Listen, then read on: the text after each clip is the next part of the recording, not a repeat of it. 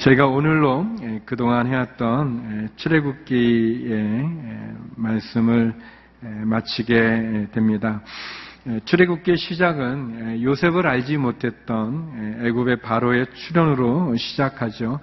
창세기에서는 환영받았던 어, 이스라엘 백성들이 어, 요셉을 알지 못하는 바로의 등장과 함께 이제는 노예의 신분으로 폭정과 압제, 고통과 신음과 한숨, 죽음의 공포 속에서 어려운 상황에 놓이게 되어져 있었습니다. 그리고 하나님께서는 모세라는 지도자를 통해서 고통받는 이스라엘 백성들을 출애굽시키고 그리고 홍해를 갈라 마른 땅 같이 걷게 하시며 광야에서 그들을 인도해 주셨습니다. 만나와 메추라기로 먹여 주시고 또 십계명과 또 성막에 대한 설계도를 통해서 이스라엘 백성들을 인도해 주신 하나님. 그리고 오늘 본문 마지막에는 이제 하나님의 지시대로 그들이 성막을 완성했고 완성된 성막에 하나님의 영광이 주의 영광이 구름처럼 큰 구름이 임재함으로 하나님의 임재의 상징인 구름이 성막을 덮고 이스라엘의 한가운데 하나님이 거하시고 동행하시고 인도하신다는 사실을 예, 보여주고 있습니다. 예, 저는 오늘 예, 출애굽기 본문의 말씀을 통해서 하나님께서 어떻게 이스라엘 백성들을 인도해 주셨는지를 다시 한번 살펴보고 그리고 우리의 삶을 인도해 주시는 하나님의 말씀을 나누고자 합니다. 저는 세 가지를 함께 나누고 싶은데 먼저 첫 번째는 예, 오늘 본문에 보니까 하나님의 영광이 가득했다라고 되어 있습니다. 하나님의 영광이 이스라엘 가운데 예, 가득했습니다. 우리 34절, 35절 말씀 같이 한번 읽어보겠습니다. 예, 한번 같이 읽겠습니다. 시작. 그때 구름이 회막을 덮고 여호와의 영광이 성막에 가득했습니다. 구름이 회막 위에 머물고 여호와의 영광이 성막에 가득했기 때문에 모세는 해막에 들어갈 수 없었습니다. 예, 여기 보면 오늘 본문이 다섯 구절인데요. 이 다섯 구절 가운데 구름이라는 구름이라는 단어가 모두 여섯 번이나 나옵니다.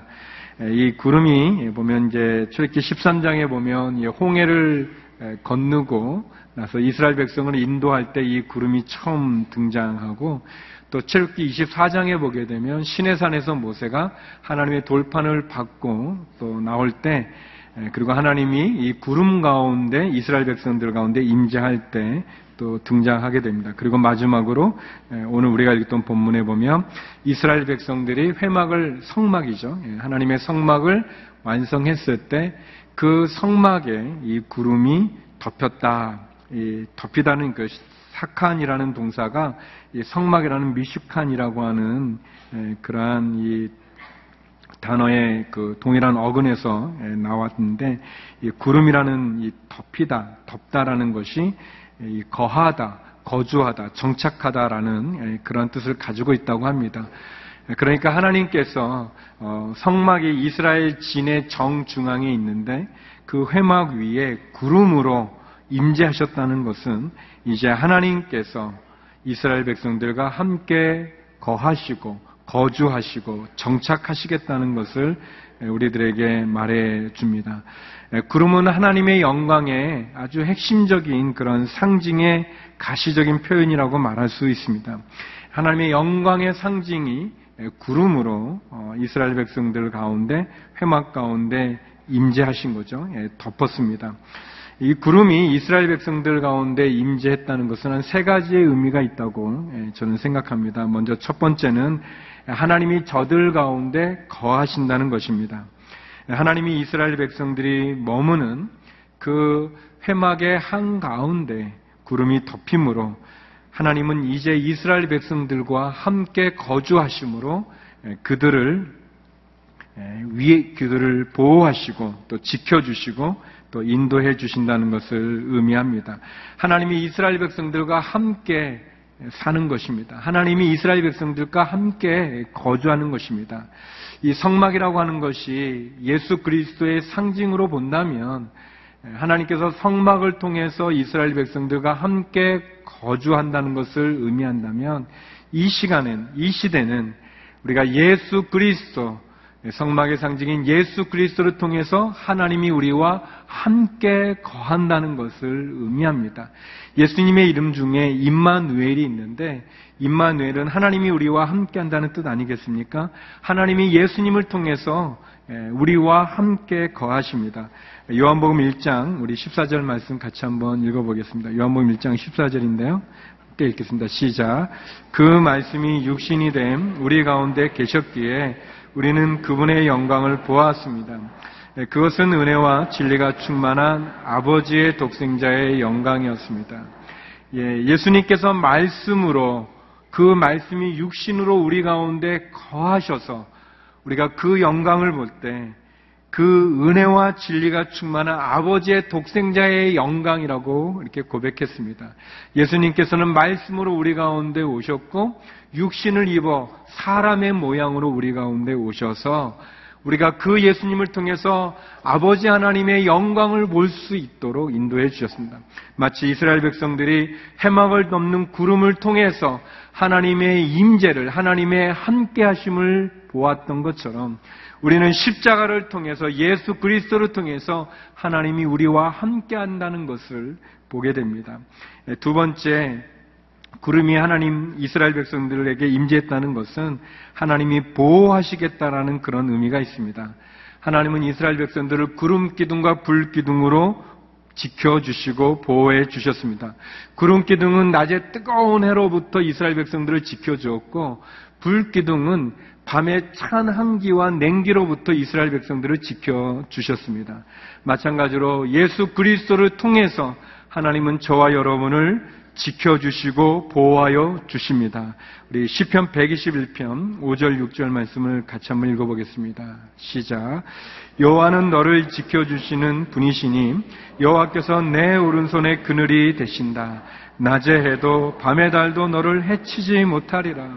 하나님께서 이스라엘 백성을 지키신다고 얘기합니다. 낮에 해도 밤에 달도 너를 해치 않고 상치 않겠다고 하나님 말씀해 주십니다. 동일하게 하나님 저와 여러분을 지켜 주실 것입니다. 예수 그리스도를 통해서 지켜 주실 것이고 십자가를 통해서 지켜 주실 것입니다. 그리고 세 번째 구름이 이스라엘 백성들에게 임재했다는 것은 하나님이 인도하시겠다는 그런 의미가 있습니다. 이스라엘 백성들은 구름이 성막을 덮고 머물면 그곳에 텐트를 쳤습니다. 그리고 그 구름이 떠올라서 움직이면 그들도 텐트를 접어서 함께 행진했습니다. 하나님께서 어, 구름을 통해서 이스라엘 백성들의 갈 길을 인도해 주셨고 머물 장소를 지적해 주셨습니다. 선한 목자 되시는 예수 그리스도께서는 우리의 갈 길을 인도해 주시는 분이십니다. 그분은 우리가 사망의 음침한 골짜기를 지나갈 때 해를 두려워하지 않을 지팡이의 아니함으로 우리를 인도해 주실 것입니다. 우리가 어두운 밤을 지나가게 될 때 그분은 빛으로 우리를 인도해 주실 것입니다.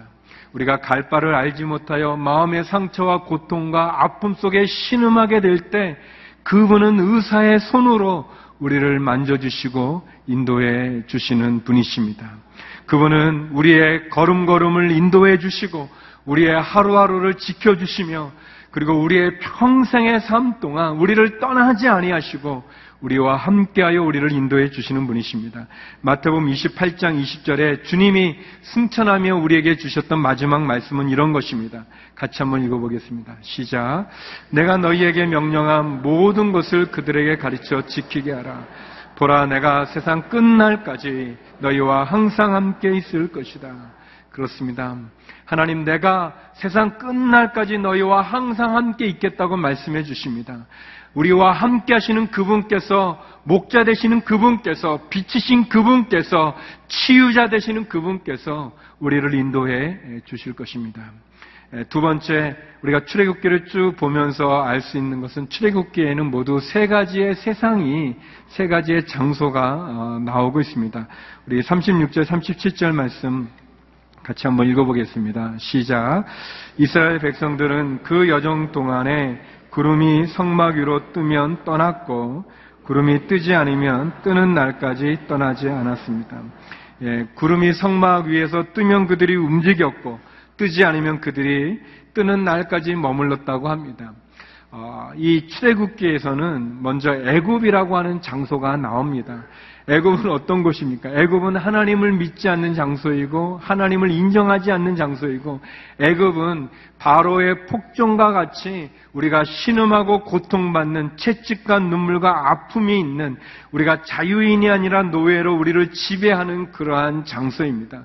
애굽은 금은보화가 쾌락이 그것이 하나님을 믿는 믿음보다도 우선되어지는 곳이고 목적을 위해서는 수단과 방법을 가리지 않는 그러한 세상이기도 하며 그리고 우리를 끝없는 죄로 죄로 어, 유혹하는 그러한 장소가 애굽입니다. 어, 애굽은 어떻게 보면은 어, 풍요로움이 있을 수 있지만 자유가 없고 애굽은 금은 보화가 넘쳐나기는 하지만 그러나 우리의 삶에 진정한 자유를 주지 못하는 그러한 곳입니다. 우리를 지배하고 우리를 힘들게 하는 곳이죠. 애굽의 바로가 이스라엘 백성들을 노예로 삼았던 것처럼 어떻게 보면 사단이 우리를 죄의 노예로 우리를 붙잡고 있는 세상이기도 합니다. 그 애굽에서 출애굽할 수 있는 유일한 길은 하나님이십니다.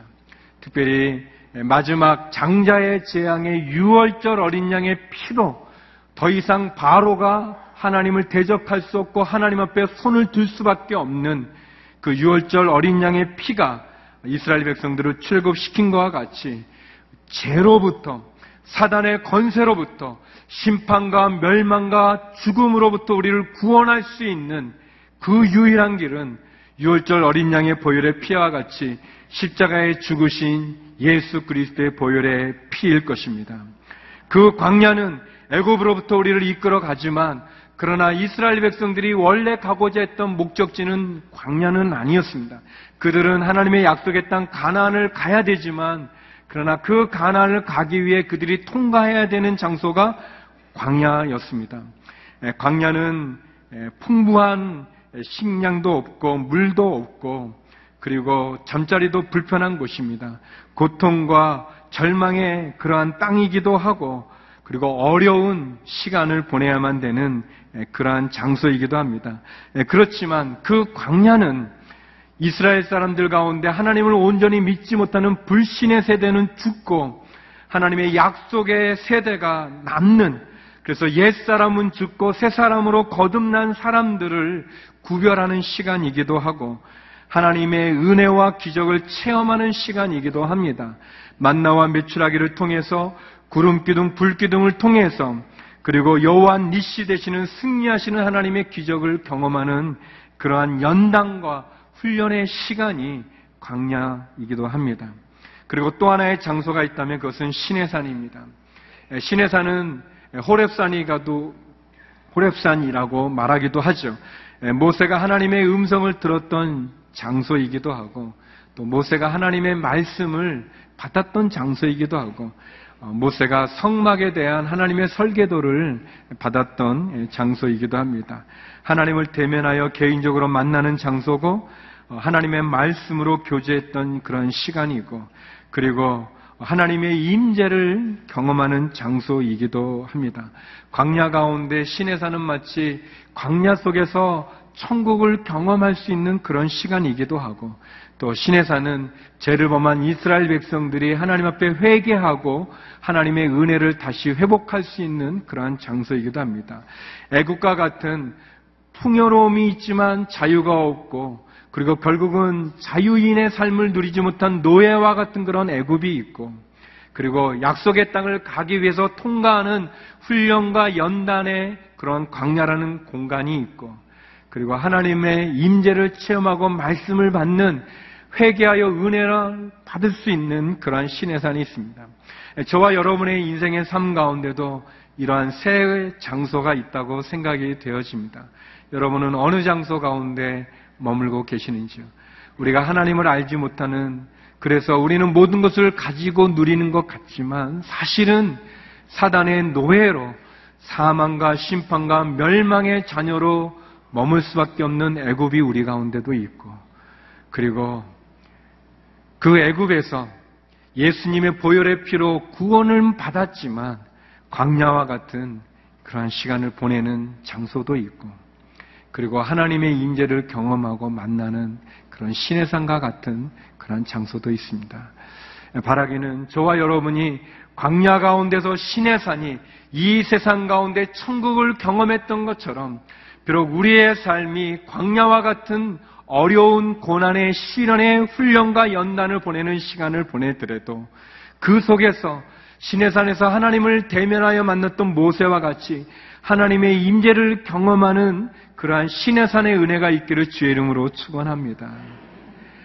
하나님의 임재를 경험하고 그 영광의 임재 속에서 여러분의 얼굴이 해같이 빛날 수 있는 그리고 우리의 부끄럽고 더러운 죄를 회개하여 하나님이 주시는 그 은혜를 다시 체험할 수 있는 그러한 신의 산의 은혜가 있기를 주의 이름으로 축원합니다.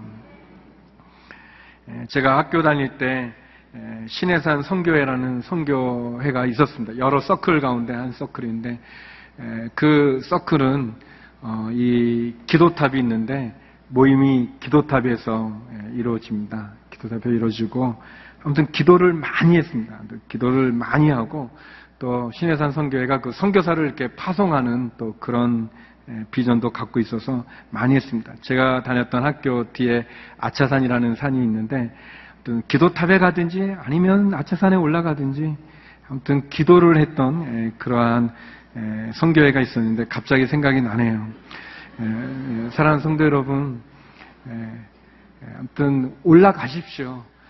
신의 산으로 어, 뭐 가까운 남산이라도 올라가서 여러분의 광야 같은 시간을 보낼 때 우리에게 천국을 경험할 수 있는 하나님이 주시는 영적인 말씀을 받을 수 있는 새 힘을 얻을 수 있는 금송아지를 섬기고 하나님을 배반하고 떠나 죄를 지었던 이스라엘 백성들의 그 죄를 끌어안고 올라갔던 모세가 드렸던 그 신의 산의 기도처럼 회개의 기도처럼 사랑하는 성도 여러분 우리가 죄악 가운데 있다면 우리가 다시 한번 하나님을 떠난 길 가운데 배반한 길 가운데 있다면 신의 산으로 올라가시는 것 그것처럼 우리가 하나님 앞에 나아가서 기도하고 회개하고 그래서 하나님이 주시는 은혜와 용서의 은총을 가지고 다시 승리하는 길을 걸어가는 저와 여러분에게 주의 이름으로 축원합니다. 우리가 신의 산, 우리의 삶 속에 신의 산이 있기를 원합니다. 마지막 세 번째 출애굽기의 결론과 같은 것은 우리에게 돌아가야 할 본향이 있다는 것을 말해주고 있습니다. 우리에게는 돌아갈 본향이 있습니다. 우리 38절 말씀인데 38절 말씀 같이 한번 읽어보겠습니다. 시작. 이렇게 이스라엘 모든 백성들은 그 여정 동안 여호와의 구름이 낮에는 성막을 덮고 밤에는 불이 구름 속에 있는 것을 보았습니다. 음, 이스라엘 백성들은 그들이 가는 여정이라고 그랬습니다. 여정. 그들이 가야 될 곳은 광야가 아닙니다. 그들이 가야 할 곳은 가나안입니다. 하나님 주신 약속의 땅을 그들은 가야 하는 거고 광야는 그 가나안을 가기 위해 통과하는 장소일 뿐입니다. 그래서 그들은 그 구름이 낮에 성막을 덮고 밤에는 불이 구름 속에 덮여 있는 그 모습을 보면서 하나님이 지시하시는 하나님이 약속해 주신 그 가나안을 향해 가기 원했습니다. 우리의 삶에 대해서 인생에 대해서 어떤 사람은 나그네 길이라고 이야기합니다. 그래서 어떤 가요의 가사처럼 우리의 인생이 나그네 길로 어디에서 와서 어디로 가는지 모른다고 얘기합니다. 그러나 성경은 우리의 인생이 나그네가 아니라 우리는 본향을 향해 가는 순례자의 길이라고 이야기하고 있습니다. 우리의 인생은 하나님으로부터 와서 하나님이 예비된 본향을 향해 가는 인생이라고 이야기하고 있습니다. 여러분 우리가 살펴보았던 것처럼 모세는 노예의 아들이었지만 그는 왕의 아들이기도 하지 않았습니까? 그는 가난하게도 태어났지만 왕궁의 금은보화의 극도의 부를 누리기도 했습니다. 그는 왕궁의 군대 장관으로 왕자로 있기도 했었지만 그러나 그는 양떼를 지켜야만 되는 도망자 살인자가 되기도 했습니다. 그는 궁중에서 높은 교육을 받기도 했지만 그러나 아무도 그를 알아주지 않는 광야의 시간을 거치기도 했습니다. 그는 말에는 어눌한 자였지만 말을 잘하는 자는 아니었지만 그러나 그는 하나님과 대면하여 말을 나눴고 그는 모압산에서 혼자 죽었지만 예수님과 함께 변화산에 다시 나타나기도 했습니다. 아무도 그의 장례를 치러주지 않았지만 그러나 하나님이 친히 그를 묻으셨습니다. 모세의 삶에는 이런 그 극과 극의 그러한 전환의 삶이 끊임없이 반복되어지면서 결국 모세는 이스라엘 백성들은 우리들에게 우리들의 삶이 이 광야가 전부가 아님을 보여주고 있습니다. 히브리서 11장에는 많은 믿음의 사람들이 나옵니다. 믿음의 조상들이 나옵니다. 우리가 아는 것처럼 아벨이 나오고 노아가 나오고 아브라함이 나오고 이삭이 나오고 야곱이 나옵니다. 어, 그 히브리서 11장에 이런 구절이 있습니다. 좀 긴데 같이 한번 읽어보겠습니다. 히브리서 11장 13절에서 16절입니다. 같이 한번 읽어보죠. 시작. 이 모든 사람들은 믿음을 따라 살다가 죽었습니다.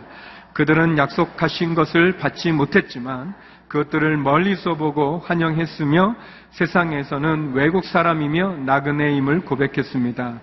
이렇게 말하는 사람들은 자신들이 본향을 찾는 사람들임을 분명히 보여줍니다. 만일 그들이 떠나온 것을 생각하고 있었다면 돌아갈 기회가 있었을 것입니다. 그러나 그들은 이제 더 나은 것을 사모하는데 그것은 하늘에 있는 것입니다. 그러므로 하나님께서도 그들의 하나님이라 불리는 것을 부끄러워하지 않으시고 그들을 위해 한 도시를 예비하셨습니다. 아멘. 이 모든 사람들, 앞서 나왔던 믿음의 사람들입니다. 그 믿음을 따라 죽은 그 사람들은 이 세상에서는 외국 사람이고 나그레라는 칭함을 받았지만 그러나 그들은 그들의 있는 곳으로 돌아가지 않고 하나님이 예비한 한 도시를 향해 순례의 길을 본향을 향해 간다고 이야기하고 있습니다.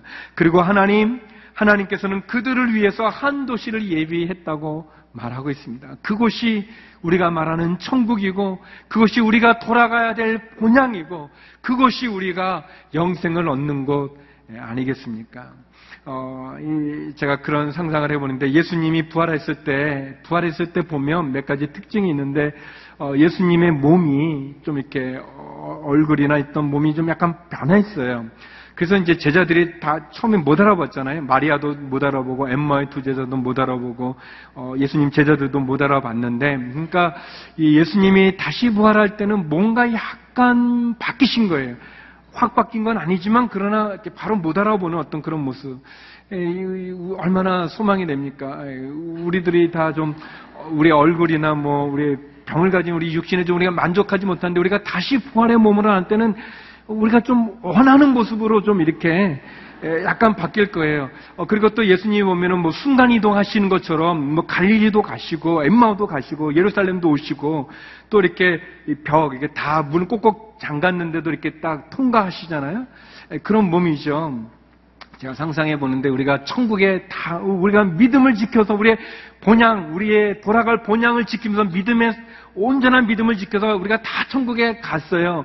예, 천국에 우리가 있는데 천국은 뭐 지루하지는 않을 거예요. 분명히 지루하지는 않는데 그런데 하나님께서 약간 좀 이렇게 심심하다 그러면은 여기 온누리 모여라 그러면 다 이렇게 아, 뭐 이렇게 편을 가리지는 않을 거라는 생각이 있지만 잘 모르지만 상상해 보는 거죠. 그러면 여러분 만약에 어, 오늘이 모여라 그러면은 얼마나 반갑습니까? 우리들이 별로 안 믿는 것 같은데. 예, 여러분, 어, 우리의 이 약함을 가지고 있는 우리의 욕심이 변화될 소망을 갖고, 그리고 우리가 이 땅 가운데 이 광야 같은 이곳에서 우리가 신앙생활을 하고 믿음의 선한 다름질을 온전히 다름질해서 그래서 주님, 그 주님의 예비된 그 새 하늘, 새 땅, 새 예루살렘, 그 천국 가운데 우리가 함께 만난다고 생각하면 얼마나 큰 감동과 은혜와 소망이 있습니까? 이스라엘 백성들이 애굽이라는 곳에서 출애굽하기 위해 유월절 어린 양의 보혈의 피가 필요했던 것처럼 죄인인 우리들이 하나님의 자녀가 되기 위해서는 예수 그리스도의 보혈의 피가 필요했습니다. 그 예수 그리스도 십자가 보혈의 피를 통해 우리는 하나님의 자녀가 되었어요. 그리고 하나님께서는 우리를 예비된 본향으로 인도해 주시는 것이고 우리는 이 세상이 우리의 전부는 아니에요. 우리의 결론은 아닌 거예요.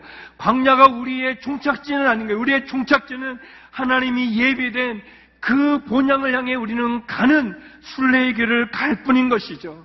사랑하는 성도 여러분, 하나님께서 이스라엘 백성들을 만나와 며칠락으로 먹여주시고 구름 기둥, 불 기둥으로 인도해 주신 것처럼 하나님께는 예수 그리스도를 통해서 우리에게 말씀으로 임재하셨고 우리에게 구름 기둥, 불 기둥으로 우리를 인도해 주실 것입니다. 우리가 믿음으로 그 구름을 따라 하나님의 인도하시고 도와주시고 거주하시고 보호하시는 그 구름 되시는 예수 그리스도를 따라서 우리가 이 세상을 살아가며 언젠가 주님 앞에 쓰게 될 그때까지 이 광야의 인생길을 뚫고 주님과 동행하며 믿음의 선한 싸움을 다 다름질해서 주께서 주시는 의의 면류관, 영광의 면류관, 생명의 면류관, 천국의 면류관을 받고 주님을 얼굴과 대하려 만나는 그 날까지 우리가 믿음 가운데 승리할 수 있기를 주의 이름으로 축원합니다. 출애굽기는 우리가 돌아갈 본향이 있다는 것을 말해주고 있습니다. 그렇습니다. 구름이 임재했던 것처럼 하나님이 영광이 임재하셨던 것처럼 하나님이 예수 그리스도를 통해 우리와 동행하시고 우리를 보호하시고 우리를 인도하신다는 것. 그래서 우리가 애굽에서 광야로 광야에서 시내산에서 시내산에서 가난으로 들어가듯 우리의 부르심의 본향을 향해서 이 땅이 우리의 전부가 아님을 기억하고 본향을 향하여 천국을 향하여 믿음의 선한 다른죄를 온전히 달려가는 저와 여러분이 되기를 주의 이름으로 축원합니다. 기도하시겠습니다. 거룩하신 하나님, 주의 은혜와 주의 사랑이 그 하나님의 영광의 구름으로 임재하신 것 같이 예수 그리스도를 통해서 하나님 우리와 동행하시고 우리를 보호하시고 우리를 인도하여 주실 뿐만 아니라 우리의 돌아갈 본야 저 천국을 향하여 가는 우리의 믿음의 선한 싸움 가운데 함께하여 주시는 것 감사드리며 믿음으로 끝까지 우리의 다름질을 온전히 다름질하여 주님 앞에 쓰게 되는 그 은혜를 허락하여 주시옵소서 예수님 이름으로 기도드립니다. 아멘. 다 자리에서 일어나셔서 함께 봉헌 찬양 올려드리겠습니다.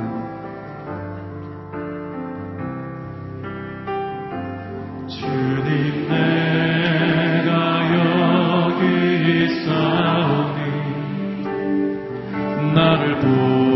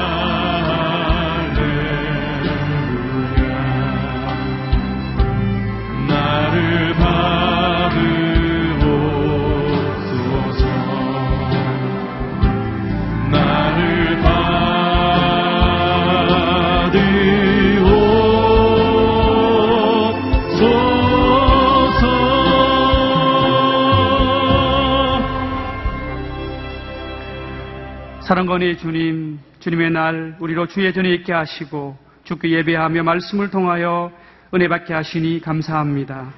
이 한 주간도 주님의 인전을 경험하게 하시고 영원한 본향 사모하며 살아가는 복된 우리의 인생 되게 하여 주옵소서. 주의 전에 나올 때에 귀한 예물을 주님 앞에 가지고 나왔습니다. 드린 손길마다 구별하여 복을 주시고 이 예물이 쓰이는 곳에 주의 영광 드러나게 하여 주옵소서. 이제는 주 예수 그리스도의 은혜와 하나님의 크고 놀라운 사랑과 성령의 감화 감동 충만하심과 교통하심이 매일의 삶 속에서 하나님의 영광을 경험하며 살아가길 원하는 주님의 백성들과 열방 가운데 복음을 전하는 선교사님들 그리고 지진으로 인해 신음하는 네팔 땅 위에 지금부터 영원까지 함께 하시기를 간절히 축원하옵나이다. 아멘.